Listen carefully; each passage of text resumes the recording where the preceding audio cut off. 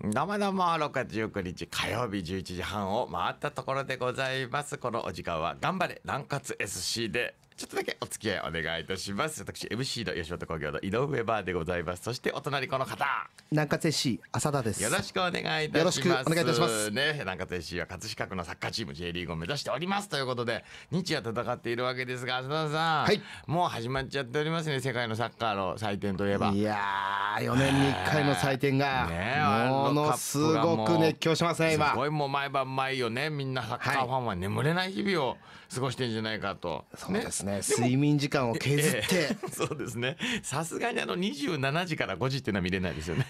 昨日の。あれはさすがにしんどいですよあの7時間は。でもいいカードがあの朝方のやつに間違いないです。大体9時頃から始まってそうです。3試合なんですね今予選リーグは。3試合ありますね。もう起きてらんないね。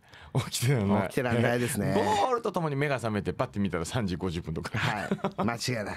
いやねそんな方いらっしゃると思うんですけどなんと今日はね日本戦ですからそうですね。9時からですから。今日いよいよ代表戦ですので、みんなどんな感じで見るんですかね、ということも。ただ葛飾のこのサッカーも負けていませんと J リーグを目指す戦いも負けていませんということでワールドカップの裏でもやってますよということで南葛市の情報を今日もお伝えしていきたいと思います。それでは浅田さん行ってみましょう。今週も頑張れ。南葛市キックオフ。一番いい声で言いました今。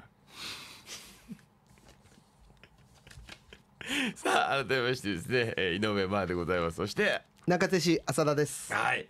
いやーもう興奮冷められるサッカーサッカーな毎日ですけどもね、浅田さんもでも練習は続いていますし、えー、一昨日も試合がありました。我らが南葛 SC でございますけれども、はい。はい。なんていう試合があったんでしたっけ？全国社会人サッカー選手権はい。関東予選がありました関ね、東予選の決勝戦に進出していました。そうですね。はい。で相手が流通経済大学という大学の U でございました、そうですね。それに勝てば全国大会に出場ですね。えー行けると、はい。そんなお話を先週お送りしましたけれども試合内容を振り返っていただいてまず結果からはい。お願いしていいですか、じゃあ私のドラムロールに従って、はい。ドゥルルルルルルルドン2対4で負けましたあー惜しい残念聞いていました、はい。結果を聞いていました、はい。ただ大健闘だということも聞いておりましたし。そうですね。残念ながら全国大会に駒を進めることができなかったということですね、ただ流通経済大学というのはもう鹿島アントラーズやらねフロンターレやらに選手を送り出す4年間なわけですもんね。そうですね。J リーグ J リーガーになるための、あの本当にサッカー漬けの毎日を送ってる学生ですので、もう虎虎の穴と言われてるぐらいのね虎の穴ですね。はい。だからその子たちも現役バリバリのはい。子たちとやって、しかも2対4で2点リードしてたというね。そうですね。途中ええ後半15分ぐらいまで2対1で勝ってたんですけども、はいはい。まあそこからですね、ええ。ー火をつけてしまったといいますかなエンジン全開で来られましてね。はい、あのー琉球経済大学のフットボールフィールドでということで、もう完全アウェーですよそうですね、ええあの応援のドラムですとか、はい。うん。あの出れない選手なんかはい。が本当に外で応援してまして、学生の部ですもんね、はい。だって部員がものすごい多いんでしょ？今300人ぐらいいるんじゃないですかね。ああなるほど。ねちょっとあの試合振り返っていってもらいたいんですけど、はい。1点目まずは中勝氏が取りますと。そうですね。ね前半20分過ぎですね、コーナーキックから、ええ。あのー清水が蹴ったボールを、はい。えーデビソンがええ。オーバーヘッドで折り返した見ました。動画がもうサイトに出てますからね。これはちょっとね映像で見てもらいたいですね。翼ですよあれがね。まさにオーバーヘッド。知ってますか、はい。皆さん宙に飛び上がってですね頭が下になるわけですよ。バイシクルシュート別名ね、はい。え でももう上でもうなんていうんですかねもうバク転蹴りみたいな感じですよ。そうですね。それをブラジルから来たデビッソンがやって,、い。やって。そのボールをまたゴール前でヘディングで引田大和が11番。11番。折り返しまして、ゴールゲット、はい。もう流通経済大学虎の穴が静まった瞬間でしょせんそうですね。一瞬シェーンとなりましたね。ました。そして追加点を取るんですね。いや追いつかれます。あ追いつかれる前半終了間際に、はいあのさすがにはい。相手に攻め込まれまして、え追いつかれてしまうと。ーなるほど。あちょっとあのスルーパスのやつそうですね。はい。やっぱりタトップ下のねえー選手がやっぱ昨日のあのベルギー戦のアザールからルカクへのパスをちょっと思い出させるようなね。素晴らしかったですね あのゴールも。あの話はまた長くなるんでや。めましょうねはいどうしてもそっちに行っちゃいますけどね、一時に追いつかれる、はいそして南葛 FC も1点を返しますといったところでしょ？その後。その後逆転ゴールです。逆転されちゃうの？じゃあ今度後半、後半ですね、はい。後半入って、えー、と15分過ぎ、はい。えー、壁下が個人技でこじ開けて。後半から入りました、同じくブラジル人フォワードのホドリゴ・カベサ選手がクンクンクンと2人ぐらいかわしていきましたね。得意のパターンですね。ねでゴールを決めると。で逆転ゴールです昨ね日後半ベルギーのルカクもそんなシーンありましたけど3人で引っかかって抜けてませんでしたよ。だからホドリカベさんはすごいってことですね。抜けましたね。抜けました見事に。ありました。それで、えー逆転するんですね、はい。じゃあもうこう再びリードですよ。そうですね。きつきました。いよいよ火がつきました。流通経済大学、はい。そっからそっからボンボンボン。そうですね。追いつかれ、うん。その後まあアクシデント的なちょっとプレーもあり、はいうん PK をまあ2つ取られて。そうだったんですか？で PK 取られた？あ PK2 本取られて。ビデオ判定ですか？今話題の。いやあのビデオ判定ついてませんので、はい VAR はついてませんので。今すごいんです。ワールドカップね今大会からはい。VAR 導入で、そう。このそうですね。審判がこうテレビみたいなねん。ジェスチャーをしたらビデオ見に行くんですよ審判がね俺はもう遅いからなんかフ Hulu でも見てんのかなと思ったら 違うんですねちゃんと。ね。連続ドラマでも見てんのかと思ったら見てきてピギャーっていきなり言うんですね。どうな、まあどう思いま多す？あれ。分今回えかなり賛否両論分かれますので、まあんまりここでコメントしてしまうと、私も炎上してしまうので。サッカー界としたら僕芸人だから勝手なこと言いますけど PK が増えるねあれね。そうですね、ええ。ちょっとやっぱりこのまあえでも冤罪はなくなるよねディフェンダー的には。神様が見てるわけだからね。そうですね、ええ。まあだ正確にジャッジしすぎるのが、うん。じゃあ果たしていいのかどうかっていう賛否両論は分かれると、ねこ恋愛とか夫婦関係もそうじゃない、ね。全部真実がね押し付けることがどうかっていうね。そうですね。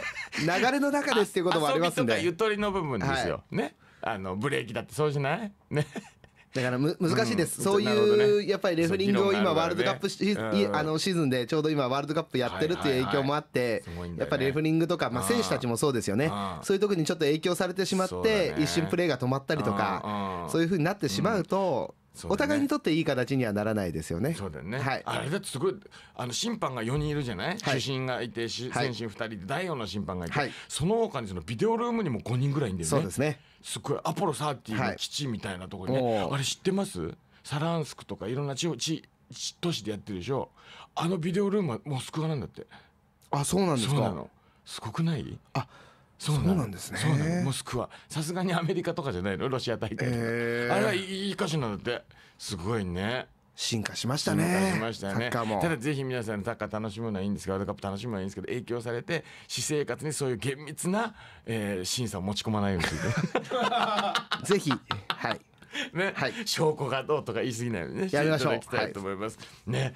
というわけで南葛 FC も、えー、J リーグを目指す戦い続いております。前者は、えーここでトーナメントなので。そうですね、えー残念ながら敗戦してしまいましたけども、あの関東リーグのチーム相手に、え2つ勝ってで最後決勝もいい勝負して、ね。あの都道府県リーグの中ではい。唯一決勝まで残った、あの関東の中で唯一残りましたんで。そうですよね、だからメキシコがさドイツを破ったとかそうですね。にどこどこが引き分けたとか、ほら天皇杯で言えばね奈良クラブが本田 FC に勝ったとかさ、なんかまああれもやり直しですけど、はそんな話題の一つですよねカテゴリーは下がりますけ相ど南葛 FC 当、そうですね話題性といいますか、はい。あの本当関東リーグ関東の,、はい。あのサッカーのチームの方々にしても、おなんかすごいなと、はい。やっぱ力あるなと。来てんなとかなり私もその後やっぱり今言われてますし、やっはいぱりなんかちょっと注意しないとまずいなと。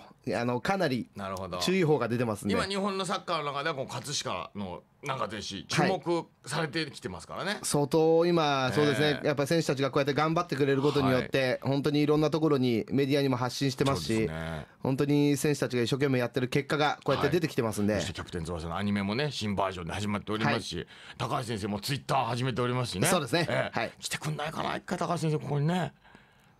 ね。え僕が言うのは勝手ですか？ら そうです。うってならないでください、お忙しいですから。聞いと僕聞いときます。ずっと言いますから、はい。高橋先生届くまでここでね、まずあの GM とか。ええ。あそうですね、はい。GM 来てもらって、はい。い、ろんなあのねビジョンとかはいプランとか喋ってもらってね、あいいじゃないですか。GM から。ええ中瀬市。うんあとはファンの方とかね。あと中瀬市ってちょっと分かんないんだけど、はい。葛飾にいますと。サッカーも興味ありますはい。とか、でサッカーしたらちょっと分かんないんですけどみたいな方も来てくださいよ。ね、いいんですか？生放送に。そういうなんかこうね放送にしていきたいじゃないですか。麦茶出しますんで、麦茶はい。夏は麦茶。ぜひ。ね、はい。ありがとうございます。お砂糖はもう入れるのか入れないのか、はい。甘い麦茶だったよね小さい頃ね。そうじゃなかった？うちすごい甘かった。カブトムシ寄ってくるぐらい甘かった。あそうですか？うんうちあのスポンサーさんが伊藤園さんなのでええ。あの伊藤園の麦茶でお願いします。はい。なんかまともに話できない。伊藤園の麦茶美味しい伊藤園の麦茶でお願いします。わかりました。ありがとうございます、さあ次の試合なんですけどリーグ戦に戻りますよ。そうですね。はい。えーここからまたリーグ戦が復活あのー始まりますね。始まり再開されます、はい、我々はリーグ戦で今ね、えースタンディングの方は3位でございますでも勝ち点15位です。15ですから。そうですね。あの、ええ。この全国社会人関東予選がありましたことで、うんはい。えっと他のチームは試合数をこなしてます。なるほど。まあそのえあのーす試合数が少ないっていうこともあって今3位ですけども。暫定の3位だもんね、はい。試合数が1試合少なくて勝ち点が1個届いてないだけだから次引き分けたら1位だもんね。まああの勝ちますんで、ね、はい。大丈夫でそうですすよ。はい、そうですよ。はい。数字上の話しただけで怖い顔しないでください。何引き分けとか言ってんですかみたいなね。勝ちますから。勝ちます。単独首位にの取り出ると思います。さあ次の相手なんですけれども、えー三菱東京 UFJ はい。大手銀行さんの。名門の匂いがしますね。えー早稲田慶応でサッカーやってた匂いがしますね。まさにそれですそねの卒業生がやってる匂いしますね。まさにそれですね。いい車乗ってる匂いしますいね。やー。大体あの本当に負けられない高級車で駆けつけますね。ええはい。負けられないですね。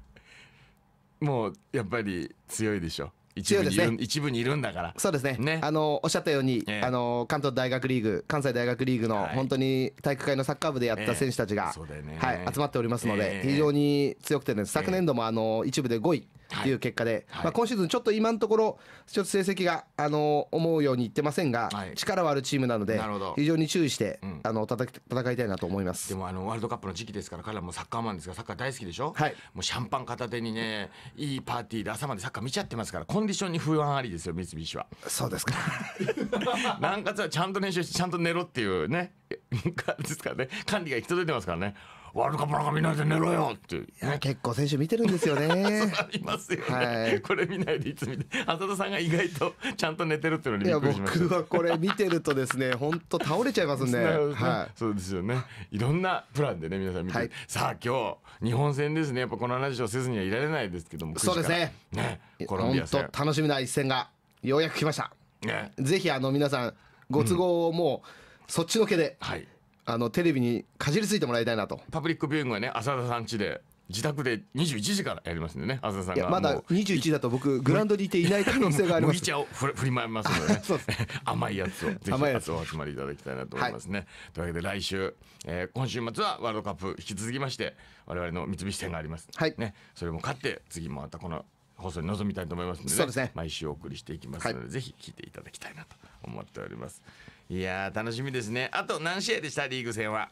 えー今6試合終わってますので残り9試合。9試合、はい。ね。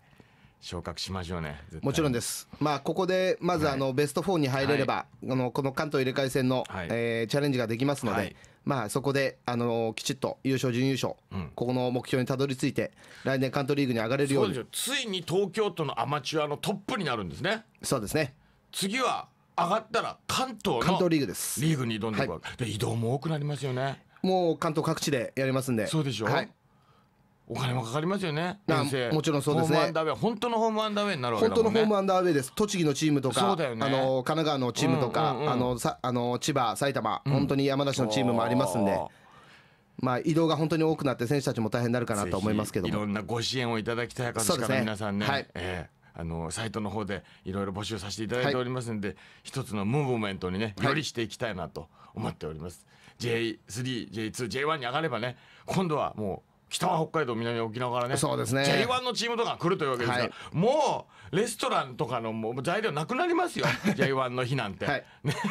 そのぐらいね、こう スポーツでね、盛り上げていきたいなと。まあサッカーで盛り上げることができるように、い。我々も一生懸命頑張りたいなと思います。ねこはい。のあの種火をね、はい。えー絶やさずにこの時期にご支援いただきたはいいと思っております。というわけでこの時間毎週ね中津市の情報そして葛飾のサッカーの情報をお伝えしてはい。いきます。えーというわけでまた来週お会いしましょう。井上真央でした。あそれでした。キャプテン翼のアニメも見てくださいね月曜日の夜です。